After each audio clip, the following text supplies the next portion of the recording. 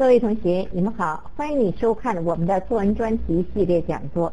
那么这一堂课开始，我们将给同学们指导公函的写作方法。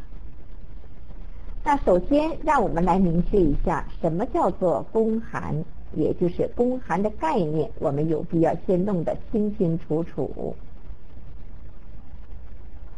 公函的概念。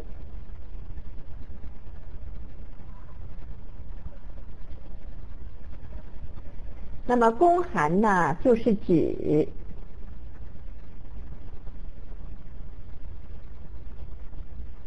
是指政府机关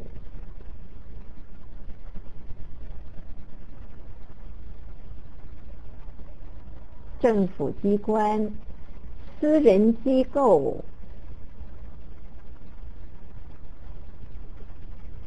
私人机构、社团、学校，还有商业组织之间，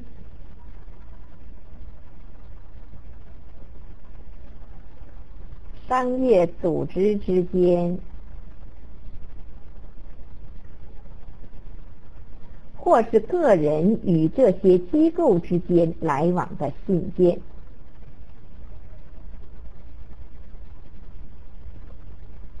或是个人与这些机构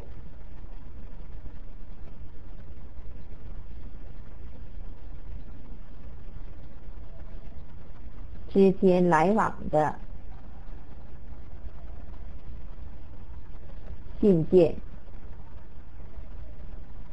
好。那么首先，在这里面我们要明确两个概念，一个是呢这些政府啦、这些团体、这些机构之间的往来的书信啊，还有个人与这些机构之间来往的信件，有两层含义。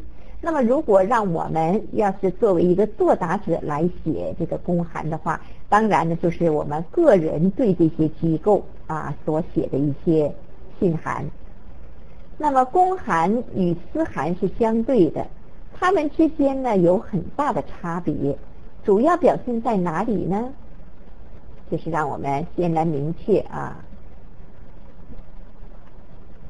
的公函。和私函是不同的。那私函呢，是个人对个人啊，然后公函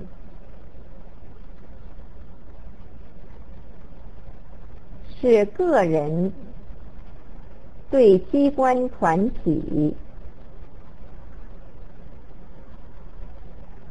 机关团体也是机关团体，机关团体对机关团体啊，对机关团体啊，这是他们的不同的地方。也就是说，私人私函呢是跳不出个人的圈子。而公函呢，始终是围绕着公事啊，围绕着公事而谈论。无论是政府机关还是企业团体，在开展工作时，一定离不开交流和商洽，或者是布置工作，或者是报告情况，或者是交流经验等等。那么这些呢，都需要用到公函了。也就是说，谈论公事的啊。比如说，交流、洽谈与商洽吧，啊，布置工作、布置工作、报告情况、交流经验。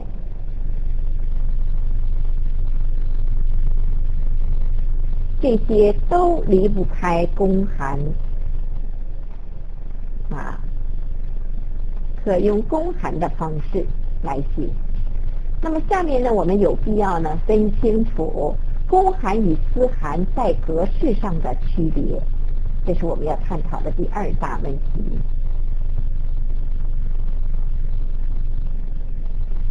公函与私函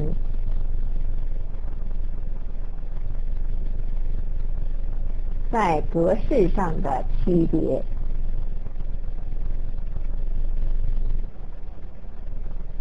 格式上的区别，那么这个区别呢，让我们呢来这样写，就是比较的项目吧。这是比较的项目，这是公函，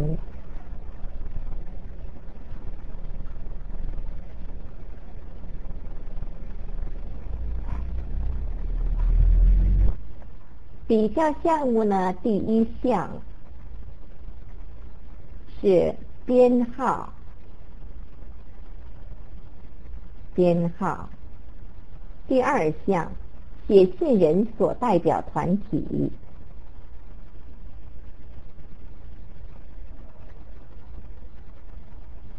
写信人所代表团体。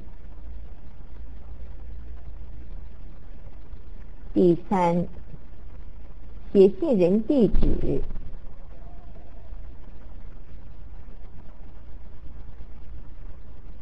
写信人地址。第四，收信人称呼、职衔和地址。收信人称呼、职衔和地址。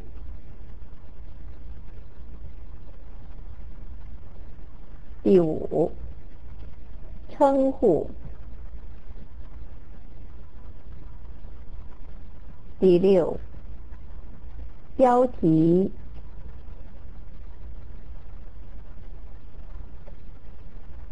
第七，问候语；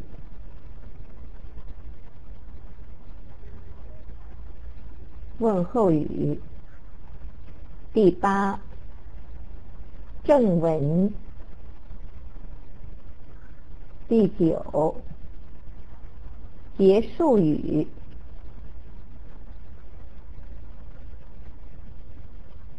第十助词。好，那么我们先把这几项十项的来做一个比较，我们要把位置稍微挪动一下。这是公函，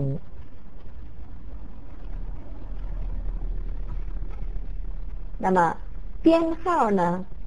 公函需要有写信人所代表的团体，公函要有，私函没有；写信人地址，公函有，私函也有。第四项，收信人称呼、职衔和地址，那么公函有，私函没有。称呼啊，公函有，私函也有；标题公函有，私函没有；问候语啊，问候语公函没有，私函有；正文公函有，私函也有；结束语结束语公函没有，私函有；助词。公函没有，私函有。好，下面呢还有几项需要比较，比较项目，